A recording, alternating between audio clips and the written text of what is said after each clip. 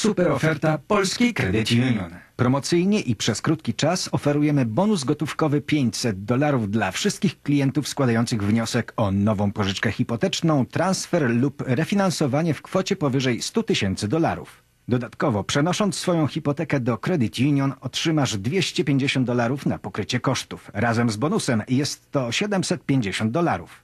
Szczegółowe informacje otrzymasz w call center lub w każdym oddziale Credit Union. Zapraszamy.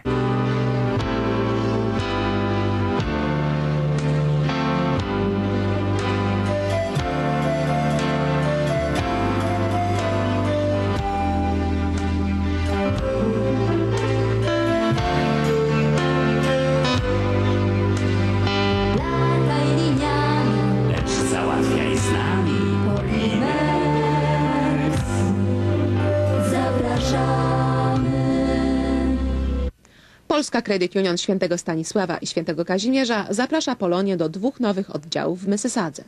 Oddział Credit Union w zachodniej Mysysadze przy 3145 Dundas Street West na zachód od Winston Churchill Boulevard sąsiaduje m.in. z nowym sklepem Starski. Kierowniczką tego oddziału jest pani Anita Ryżyńska. Drugi nowy oddział Credit Union znajduje się w centralnej Mysysadze na południe od Square One na plazie Parkways West, czyli dokładnie na skrzyżowaniu Central Parkway West i Confederation Parkway. Kierowniczką oddziału jest pani Anna Kornaś. Oba nowe oddziały otwarte są w pełnym wymiarze czasowym.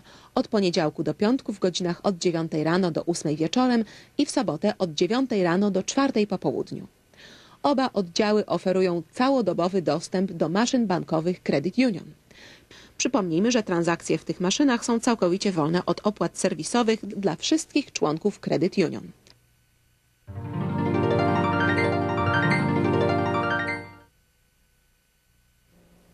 W poniedziałek 13 kwietnia obchodzony był Dzień Pamięci Ofiar Zbrodni Katyńskiej.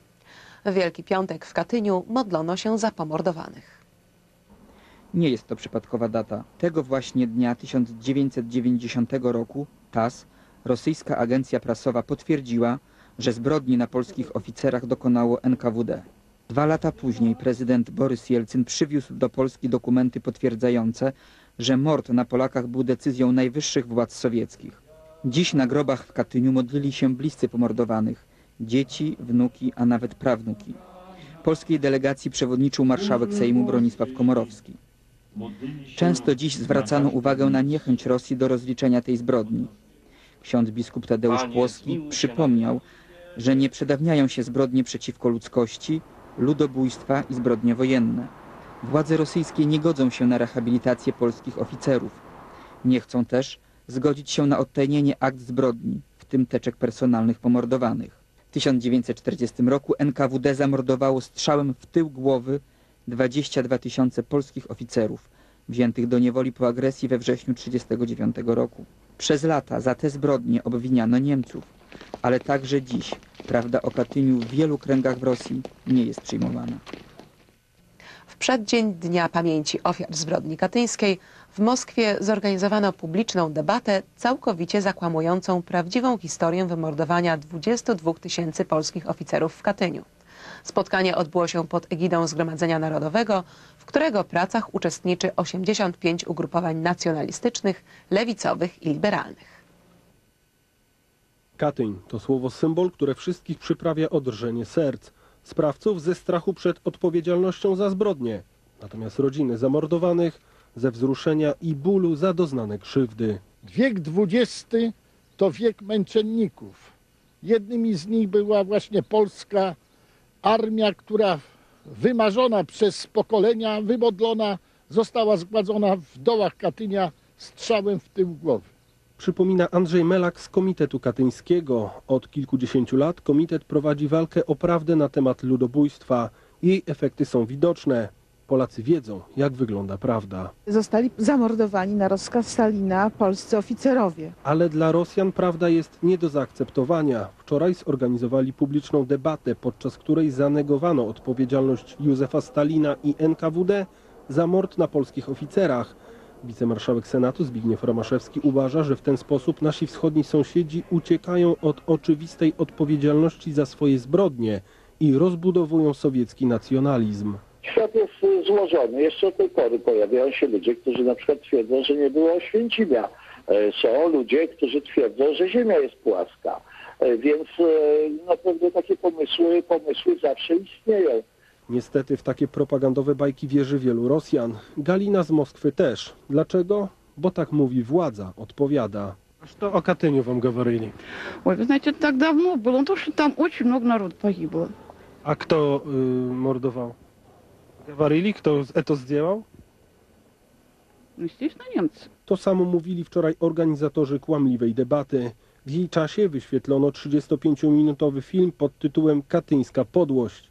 Znany z antypolskich publikacji i wystąpień dziennikarz Juri Muchin twierdzi ponadto, że podpisana przez Stalina uchwała skazująca polskich jeńców na śmierć została sfałszowana przez KGB, Andrzej Melak podkreśla, że nieprzypadkowo ten spektakl odbył się tuż przed obchodami Dnia Pamięci Ofiar Zbrodni Katyńskiej. Rosjanie nie zrobili tego przypadkowo. Oni wiedzieli, że ten dzień jest w Polsce obchodzony jako Dzień Ofiar Katynia.